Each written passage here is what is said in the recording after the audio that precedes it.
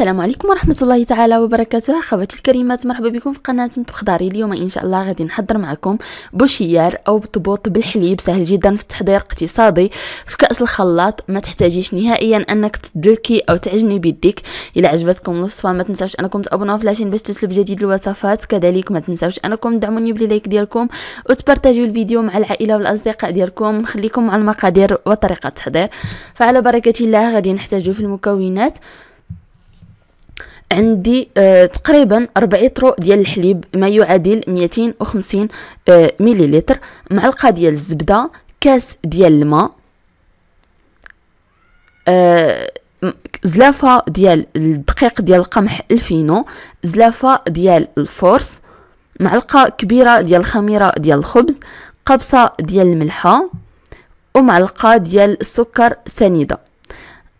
غادي نجيب كأس الخلاط. غادي ندير كاس ديال الماء. ما يعادل 200 مليلتر 250 مليلتر ديال الحليب. معلقة كبيرة ديال الزبدة.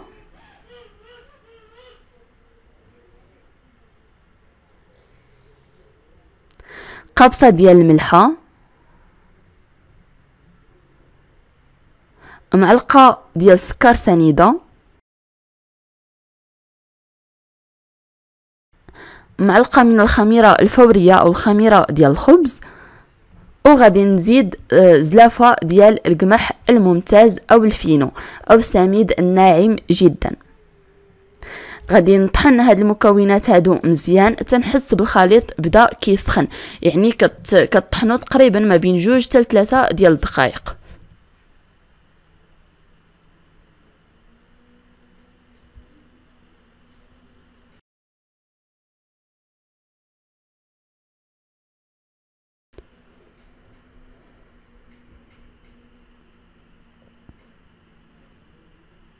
هنا من بعد ما طحنته غادي نخويه في واحد البانيو. غادي نزيد عليه خمارة حمراء وغادي نبدا نزيد الفورس شوية بشوية. الفورس آه يعني غادي ديروا داك الزلافة إلا بقى خاصكم غادي تبداو تزيدوا غير الفورس كما كتلاحظوا أنا هنايا زدت عمرت الزلافه الثانية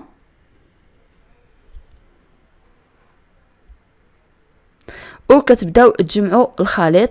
الخليط كيخصو يجي خفيف ما يجيش نهائيا ثقيل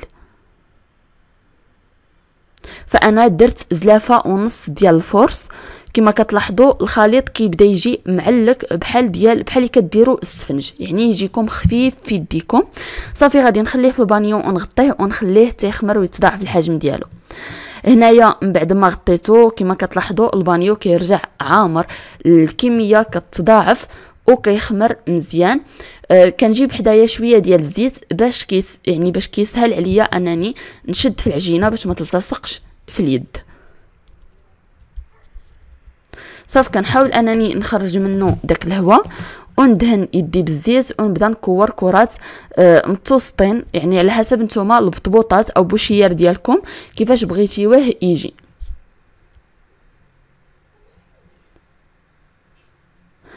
غادي ندردر واحد شوية ديال الطحين فوق سطح العمل وغادي نوضع فيه الحبات ديال آه يعني ديال المطلعات أو ديال البطبوط.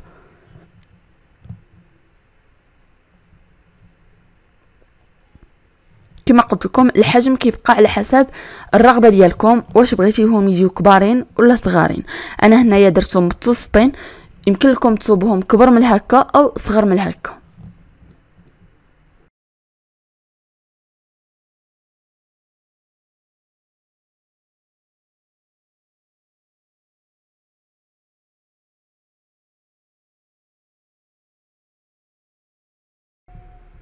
صافي كندهنها بالزيت وكنديرها فوق المقله مباشرة يعني كاع ما كتقرصوهاش آه، فوق سطح العمل. كتشدوا هكاك داك القرصة ديالكم وهي في يعني مسحوا منها داك الطحين ودهنوها بالزيت وديروها فوق المقله اللي تكون سخونة مباشرة. يعني هادشي باش زوين هاد بوشيار أو هاد البطبوط أنك ما كتقرصوش نهائيا عاودوا يعني عاود تخليه يخمر ولا هادي مباشرة كتقرصو فوق المقلة. صافي كان النار كتكون متوسطة. أو كنبدأ نرش شوية شو مر يعني مرة مرة كنبدأ نرش بالزيت باش كيجيو محمرين. فاش كتشوفو بدا كيدير هاد الفقاعات هادو كتقلبو. يعني كتكون راها طابت من التحت. صافي كنرش واحد شوية ديال الزيت باش يتحمر لي حتى الوجه الآخر. وكتبداو تدوروها باش كتحمر من جميع الجوانب.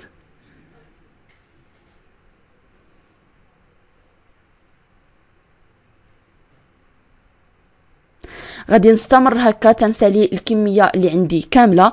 كما قلت لكم كتهزوا داك القريصة اللي درت اللي يعني اللي صوبتي وكتوضعوها مباشرة فوق البوطة وكتقرصوها وهي فوق البوطة. آه غادي نكمل يعني الكمية اللي عندي كاملة ونعاودو نتلاقاو باش نشوفوا الشكل ديالهم النهائي. فاخواتي كيكون هذا هو الشكل النهائي ديال المخمرات أو ديال بوشيار كما كنقولوا.